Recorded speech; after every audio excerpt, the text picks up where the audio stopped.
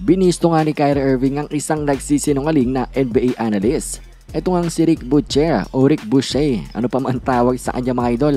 Sinabi na gusto nga daw ni Kyrie Irving sa kanyang bagong kontrata na i-guarantee na hindi siya maglalaro ng more than 60 games in a season at hindi nga daw dapat maglaro si Kyrie Irving ng back-to-back.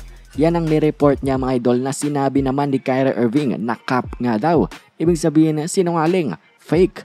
Nag-reply pa nga mismo si Kyrie Irving doon sa post at nahuling ang gumagawa lang daw pala ng kwento itong NBA analyst na ito. Kaya naman mga idola, sinabi nga ng mga NBA fans na dapat hindi nga daw lagi talagang magtiwala sa mga analyst na ito. Dahil minsan mga idol ay gumagawa lang sila ng sarili nilang report. Wala naman talagang pinagbabasihan.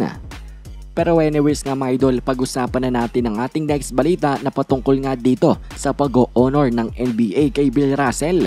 I-retire na nga nila league-wide ang number 6 mga idol. At ibig sabihin lang yan, bawal nang suotin ang number 6 sa buong NBA sa ngayon at sa future.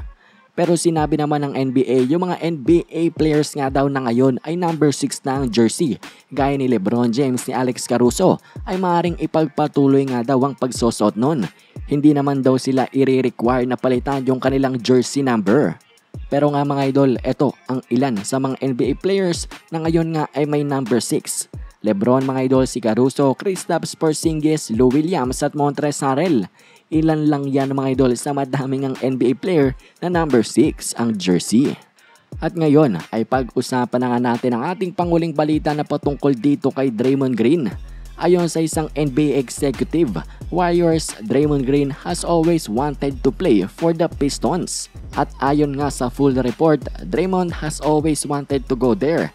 Meron na nga daw siyang talagang desire na maglaro para nga sa team ng Pistons at meron naman daw cap space itong ang team ng Detroit. Mahirap nga daw makita na itong si Draymond Green ay naglalaro sa ibang franchise sa ibang team maliban sa Golden State Warriors. Pero kung aalis nga daw talaga itong si Draymond, sa Detroit Pistons nga daw ang kanyang punta.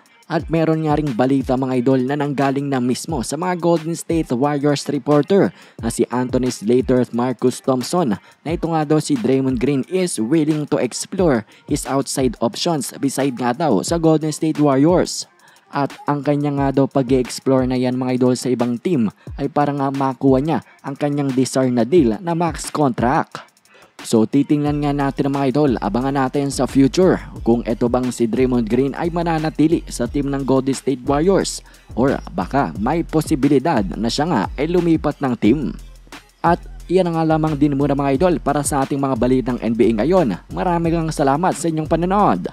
Huwag na rin kalimutan na mag-like and subscribe. Bye!